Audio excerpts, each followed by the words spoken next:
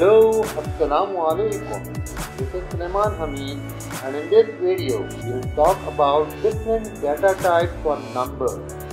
Well, in Python there are three different numeric data types. First one is integer, second one is float and the third one is a complex number. In the previous video, Python variable, we have studied how to create a variable. Let us look again at some of the examples of creating variables of numeric data type. x is equal to 1. Here x is declared the moment you have assigned 1 to x. 1 is an integer value, therefore the data type of x is integer. Now we will make another variable y. y is equal to 2.8. Here y is declared the moment we have assigned 2.8 to y. 2.8 is a float value because it contains a decimal point. Therefore the data type y is float.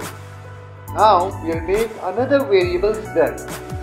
z is equal to 1j. Here z is declared the moment we have assigned 1j to z. 1j is a complex number because it contains j, therefore the data type of z is complex.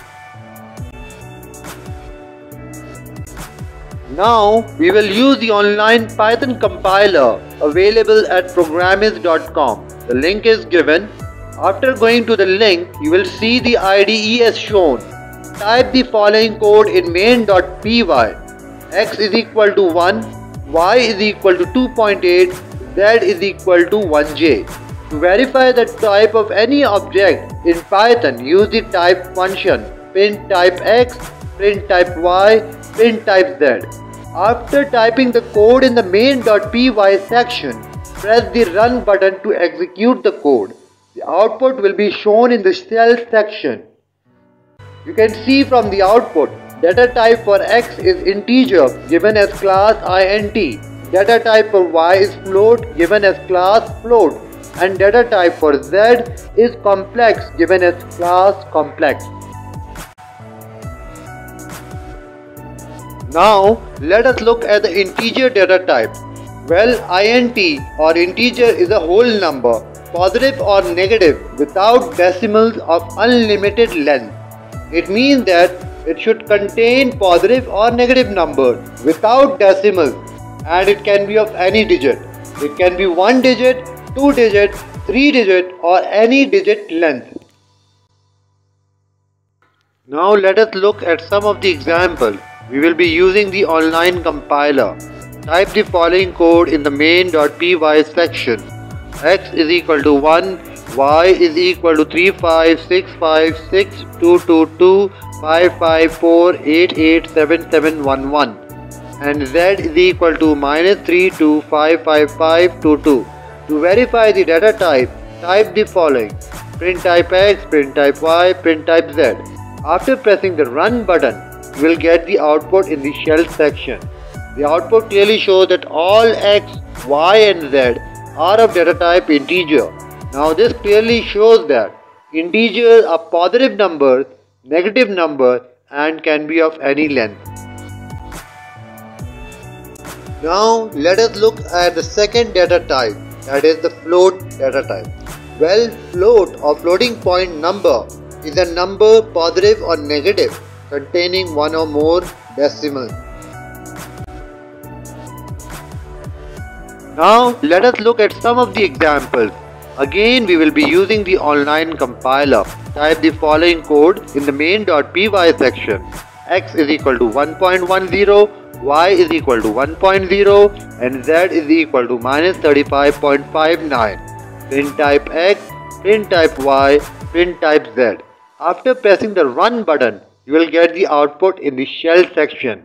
The output clearly shows that all x, y and z are of data type float. Now this clearly shows that float can be positive numbers, negative numbers containing one or more decimals. Now let us look at scientific numbers. Well, float can also be scientific numbers with an E to indicate the power of 10. For example, x is equal to 35 E3, y is equal to 12 E4, z is equal to minus 87.7 E100. Print type x, print type y, print type z. After typing in the main section and running the run button, you will get the output in the shell section. The output clearly shows that all x, y and z are of data type float. Now this clearly shows that scientific numbers with an e to indicate the power of 10 are also float data type. Now let us look at the complex data type. Complex numbers are written with a j as the imaginary part. For example, x is equal to beta psi j, y is equal to phi j, z is equal to minus phi j. Print type x, print type y, print type z. After typing this code in the online compiler and then press the run button, you will get the output in the shell section. The output clearly shows that all x, y and z are of complex type. In x, 3 is the real part and plus 5 is the imaginary part. In y, 5 is the imaginary part and in z, minus 5 is the imaginary part. Now let us discuss about type conversion. You can convert from one data type to another with the int, float and complex method. It means that if you want to convert into integer, you can use int function. If you want to convert data type into float, you can use float function. And if you want to convert data type to complex, we'll use the complex function. Keep in mind that you cannot convert complex data type into either integer or float data type. Now let us look at an example for converting from one type to another. In the main.py section of the online compiler, type x is equal to 1, y is equal to 2.8, z is equal to 1j. Here x is an integer and its value is 1, y is a float and its value is 2.8 and z is a complex number having 1 as imaginary part. For converting from integer to float, we will type a is equal to float x. For converting from float to integer, we will type b is equal to integer y. And for converting from integer to complex, we will type c is equal to complex x. Now we will type print command to get the output. Print a, print b, print c. And for the data type, we will type print type a, print type b, print type c. After typing the code in the main.py section, press the run button to get the output. In the output, you will see that the value of A is 1.0, value of B is 2 and the value of C is 1 plus 0j. The data type of A is float, the data type of B is integer and the data type of C is complex. All integer and float have real parts. Therefore, after converting from integer or float data type, into complex plus 0j is added as the imaginary part. Complex numbers cannot be converted into integer or float data type.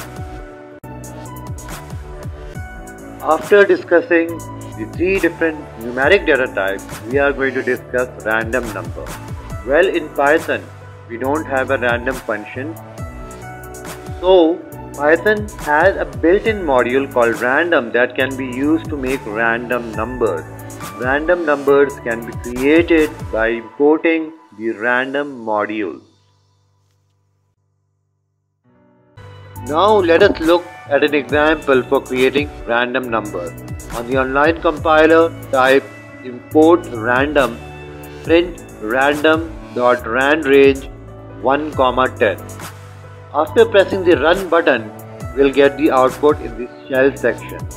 You can see that my output is 6, but you can get a different output. It can be a number from 1 till 10, depends on the random number generated at your end.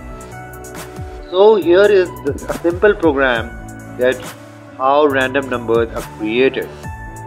So I hope you have understood what is a random number and how it is created and I hope that you have understood the entire topic of numeric data types.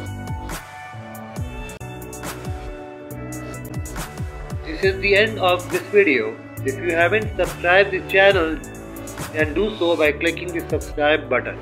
Don't forget to press the bell icon to get notification of the latest videos uploaded on our channel. Don't forget to comment, like and share our video. We'll meet again with a new video.